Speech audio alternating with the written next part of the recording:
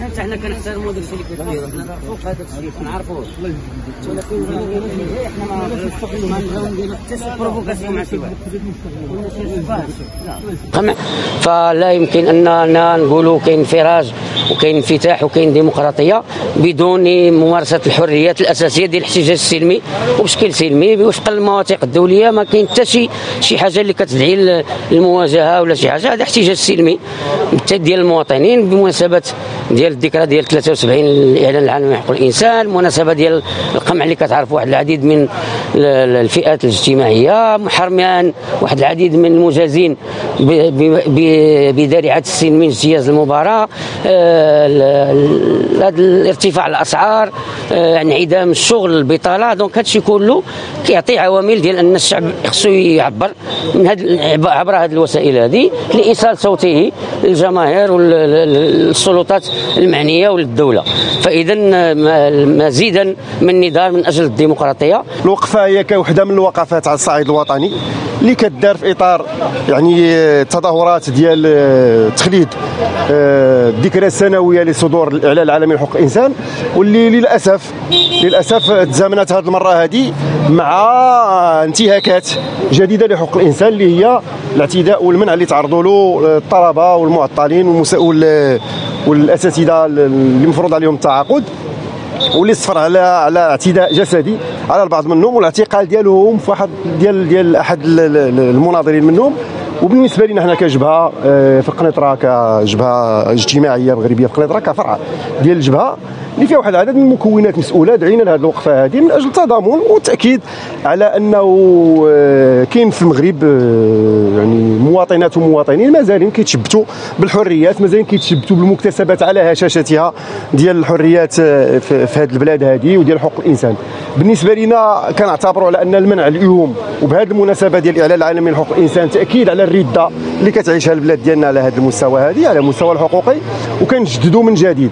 التضامن ديالنا مع الشباب ضحايا الفرز الأمني والشباب ضحايا تحديد السن ديال 30 سنة والشباب الأساتذة الذين فرض عليهم التعاقد وكذلك المعطلين. وكنطالبوا بديلا على هذه السياسة الأمنية كنطالبوا بسياسة حقيقية ديال التشغيل وسياسة حقيقية ديال إدماج الهوامش. خصنا عدالة اجتماعية وخصنا عدالة مجالية. ماشي خصنا إنزالات بوليسية. طوارئ كاينة بالفعل كنحترموا المبدأ ديال حالة الطوارئ ومبدأ مبدأ حالة الطوارئ صحية نظرا للظرفيه السياسيه ولكن خاصة نظرا للظرفيه الصحيه ولكن هذه ما يمكنش يتم آه، استعمال هذه الظرفيه الصحيه من أجل غايات وظرفيات سياسية. كل التجمعات ما كيتمش المنع ديالها بنفس الطريقة كيتم اختيار كيتم فرز ديال المنع اللي كيكتم من هذه التظاهرات. وكنلاحظوا تتفاوت في ردة الفعل اللي كتكون لدى قوى الأمن في مختلف المدن المغربية. كنتسألوا فعلا علاش قنيطرة كاين واحد التصعيد ما كاينش في مدن أخرى. هذا سؤال كيتطرح وسؤال في محله. ومن نقطة أخرى اللي خاصنا حتى هي نحطوها ونوضعوها بطريقة واضحة هي حاليا فين باغي فين بغينا نمشيو؟ أش من مغرب بغينا نكونوا في السنوات الخمس المقبلة في العهدة ديال الحكومة هذه واش غادي نبقاو غاديين في تراجعات مستمرة القوى مستمرة المكاسب الاجتماعية؟ هذا الشيء ما كيخدم لا لا المعارضة لا الشعب المغربي ككل ولا الحكومة اللي غادي توجد في السنوات المقبلة وفي الأسابيع المقبلة حتى في مشكلة أمنية ليست فقط وإنما حتى مشكل اجتماعي فعلي ومشكل في جمع.